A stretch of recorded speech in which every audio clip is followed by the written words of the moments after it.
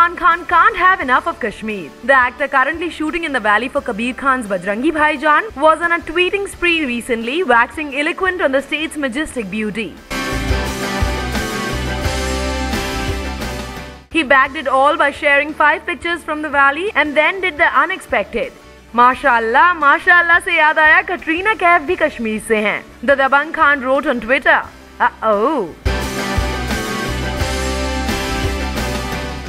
Now we do know that Katrina Kaif and Salman Khan officially broke up long ago, but his love for his Ek Tha Tiger co-star just refuses to fade away.